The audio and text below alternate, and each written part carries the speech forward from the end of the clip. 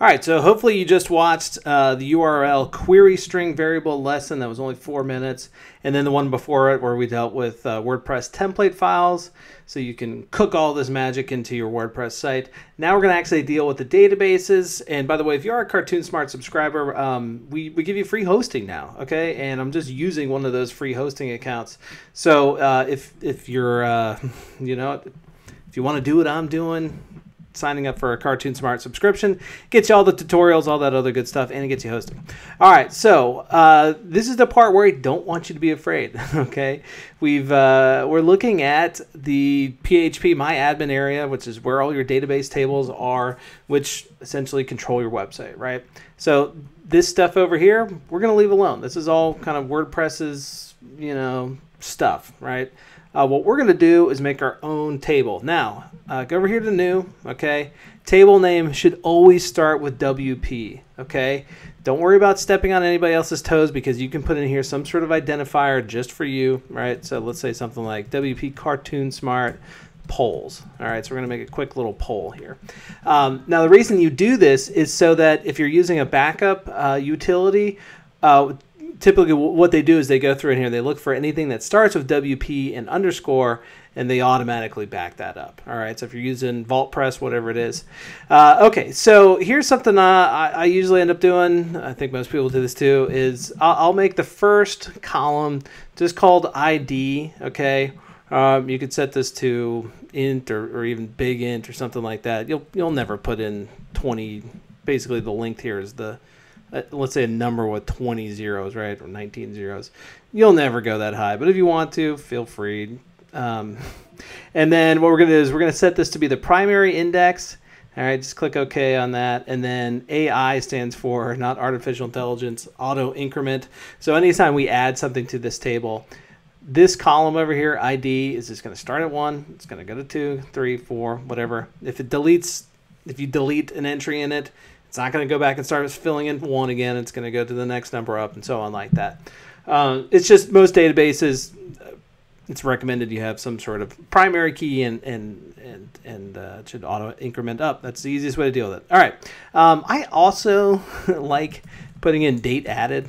All right. In case you ever down the road find a reason that you want to kind of separate your results out by when they were added. And uh, for this, go in here and put in the current timestamp, and then you just want to put in uh, date. Uh, I'm sorry, timestamp. I was about to say date time. Uh, you don't need to put in here the, the length or values for that. Okay.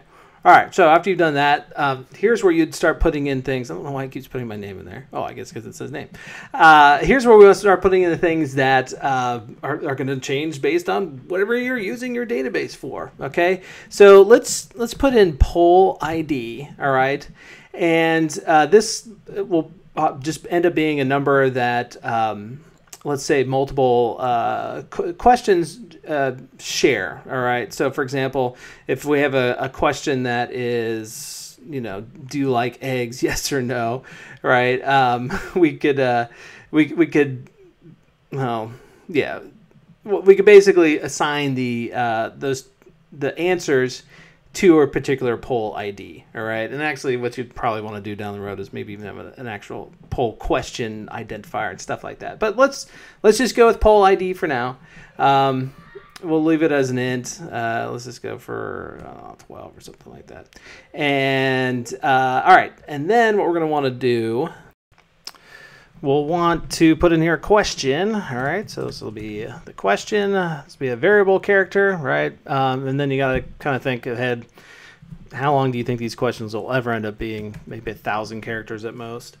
Uh, and then we need to add in another column over here. Uh, so then we'd have the basically the answer text, right? So if the question is, um, I don't know. Do you like kittens?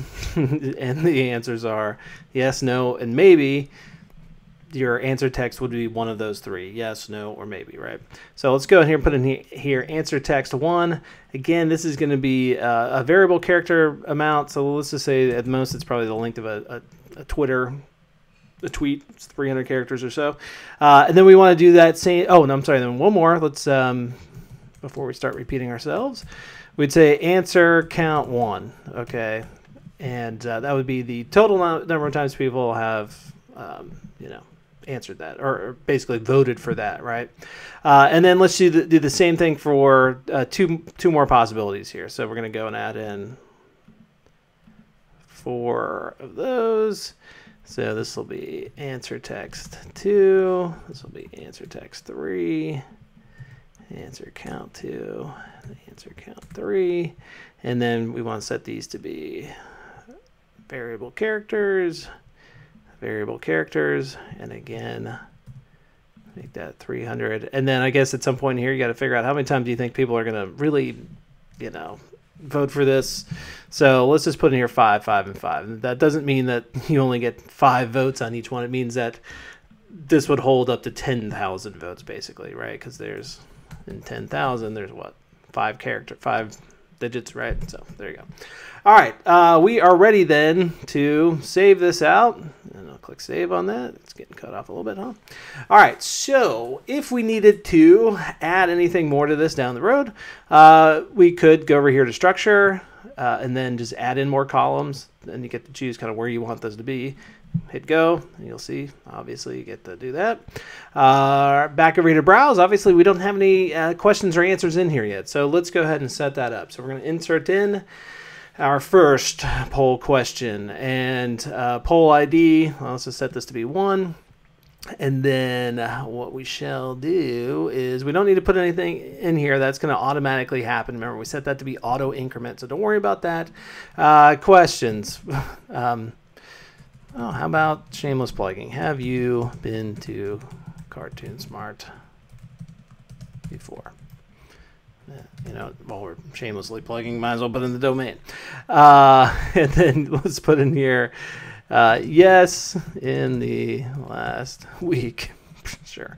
Uh, again, we don't need to put in. Oh, yeah. I mean, this would just by default be zero, but you could put in there zero. In fact, let's just go and do it for all of them and we could have defined the default for that as zero, but that's okay. Um, let's say yes in the last year, and then no, not ever.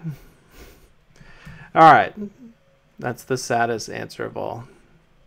Okay, so go back over here to browse, and you can see, here we go. Now, imagine this if I had multiple questions, right? So I could, again, I could assign them kind of to the same poll, right? And um, so I could have poll one for each one of these, or I could um, just keep incrementing upwards with poll IDs as well. But um, there we go. All right, so let's actually use this information, and we need to head back over here to our PHP file. All right, so back in our PHP file, I think this looks mostly like it did in the last lesson. Uh, what we're going to do is let's change the variable right here. Let's change this to uh, something like the poll ID. Okay, so I'm going to copy that, put that right there. Uh, let's go ahead and get rid of that line. And instead of getting out of the URL string, uh, just this generic variable over here. Let's just put in here poll ID. All right. So the poll ID is going to be a, be whatever we get out of here. So again, just of nail this in. So now what we're going to be looking for is instead of variable equals cartoonsmart.com, what we're looking for here is going to be poll ID, and we're going to want this to match at least one of our potential question and answer uh, rows in the database. And remember, we put in here poll ID for one. Okay, so that's what we're going to be looking for. Uh, obviously, that's not going to do anything right now other than mess us up. So let's go and uh, let's switch back over this way. And we need uh, to connect to our database now. All right. And what I'm going to do is put all of that information into this connect.php file. Okay. That way it's reusable. So we'll go through that in just a moment. But here's how this is going to look. We're just going to put it here, include, and then connect.php. So all the code that you have inside of here is essentially running right here as well. Okay, and I don't have to put this right there. I could put this up, at the top of the file. It's fine. It's uh, it can kind of go anywhere. Uh, we'll, we'll put it We'll, we'll, include it after the header. How about that? All right, so let's go through this line by line. Uh, we're getting this global WPP, uh, WPDB uh, variable, which is already something that already exists out there, which has a bunch of properties for the WordPress database, right? So all we're just pulling out of here is the um, the host. A lot of times this is going to equal local host, but um, as I found uh, doing some testing right here, uh, it it's a slightly different, right? And wherever you're testing this, you can echo out any one of these to kind of see if you're curious. Hey, you know what? What's server name? Okay. Um, obviously, you don't want to echo that out in production, right? Uh, but anyway, it uh, so we're just going to get a, a, a, database name, a username, a password, and I'm just kind of prettying these up a little bit, pulling them out of the, the properties of, of this global variable. That's what this is. It's basically indicating that you know this is a property of that variable. Uh, and a lot of times you see that um, in other languages written the way I'd prefer dots dot syntax, right? So it would be like db host, right? Okay, but you know what? Hey, that's how PHP does it, and it's kind of got a little bit of flair to it, right? It's a little, hey, look at that. We made an arrow. Okay, so uh, then we are uh, creating this MySQL um, variable over here. This is going to be what we use to uh, run all of our MySQLi statements that basically pull information to and fro the database. Okay, so again, this is stuff that you're going to end up using over and over again, so you might as well just put it in the separate file. Um, and this doesn't really, this isn't um, pulling any information out of the out of the database. It's just seeing if it's connecting. Okay, and if it has has trouble connecting, you're going to know about it because it's going to say error connecting to database. And I think that's pretty much where we can leave it at. Uh, so let's go back over here to our testing.php file. And this would be a good time to test to make sure everything works. So I'm going to dump that testing.php file in there. Of course, I got to do that with the connect.php file as well. In fact, I already did it. And let's just go and see what happens over here. So I'm going to refresh this page and I don't see anything now. Well, that's fine. Um, it's more important that I'm not seeing the error message, okay? Uh, because uh, right now I don't have anything being printed out here, okay, other than these div statements, which are not going to be visible in the HTML anyway. So what we want to do at this point is uh, well, we're already checking to see if we're, we're, we're, getting that poll ID. So let's do this. Uh, let's make the poll ID start off at zero. Okay, so it'll be an actual number. And then we're going to say is if the poll ID is greater than zero, okay, that means basically it's been set over here, right? We're going to do stuff in here, right? Connect to DB. Uh, else, well, something bad happened, right? We didn't put that in. So we'll just say error, uh, no poll set. Okay, and you can of course test that right now by just excluding this in there, but let's keep going with it. Okay, so uh, at this point, what we're going to do is actually um, connect to the database, and to save us a little bit of time, because I know we're kind of